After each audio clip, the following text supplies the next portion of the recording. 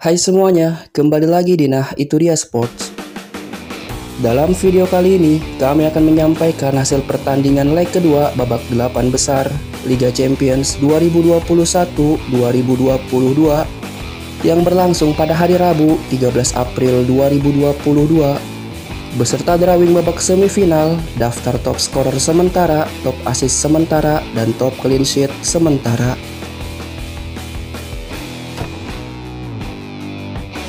Hasil leg kedua babak 8 besar Liga Champions 2021-2022 Rabu 13 April 2022. Real Madrid kalah 2-3 versus Chelsea. Dengan hasil tersebut, Real Madrid lolos ke babak semifinal setelah unggul agregat 5-4 dari Chelsea. Bayern Munchen imbang 1-1 versus Villarreal.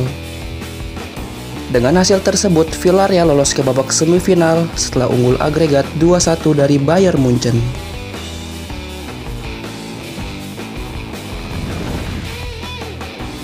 Berikut drawing semifinal Liga Champions 2021-2022.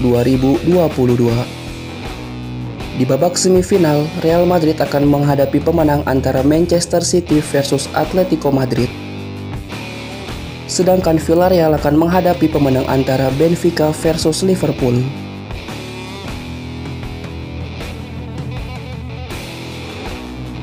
Berikut daftar top scorer sementara Liga Champions 2021-2022. Robert Lewandowski kokoh di posisi pertama setelah berhasil mencetak 13 gol. Karim Benzema membayangi urutan berikutnya setelah berhasil mencetak 12 gol.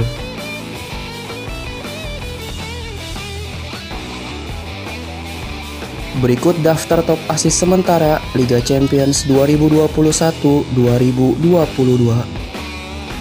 Dengan sama-sama mengemas 6 asis, Vinicius Junior, Leroy Sané dan Bruno Fernandes tercatat sebagai pemain dengan asis terbanyak sementara.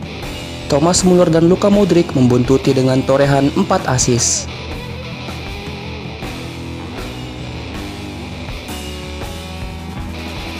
Berikut daftar top clean sheet sementara Liga Champions 2021-2022.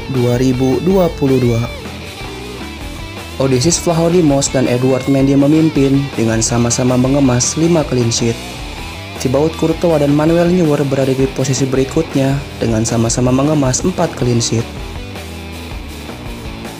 Sekian video kali ini, sampai ketemu lagi di video selanjutnya. Terima kasih.